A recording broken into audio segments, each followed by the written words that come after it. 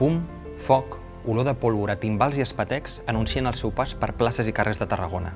Són els representants de les forces del mal, Satanàs, Belzebub, Lucifer i el seu seguici de diables amb banyes i cues. Els acompanyen bèsties i monstres infernals que desfilen insolents i desafiants. Però com és possible que les representacions del mal formin part de les celebracions cristianes? Com va ser que l'infern va trobar el seu espai en les nostres festes? Per bona part de les societats humanes, l'existència del bé va lligada als perills de les forces del mal. En el cristianisme, d'aquesta dualitat en va sorgir la lluita expressada en forma dels balls típics del teatre medieval.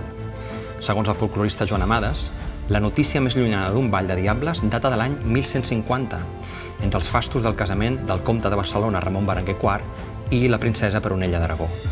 En el ball es representava la lluita de Lucifer i dels seus acòlits infernals amb Sant Miquel i els seus àngels, els quals, evidentment, sortien guanyadors.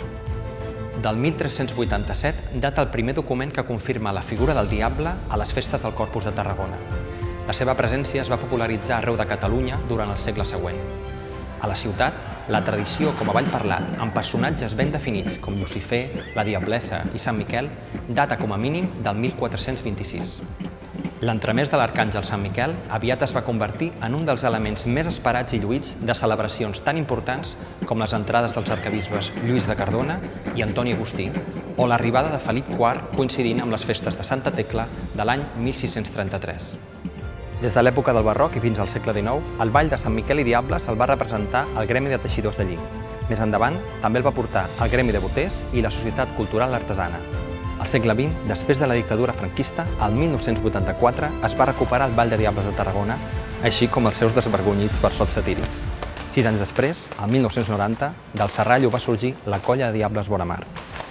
A Tarragona tenim constància de barrejar pirotècnia i festes des del 1383. Amb el temps, el foc dels diables i les seves bèsties s'ha fet més potent, més captivador i més espectacular.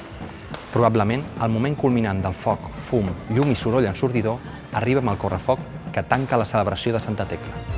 I així fou com l'infern es convertí també en part de la nostra festa.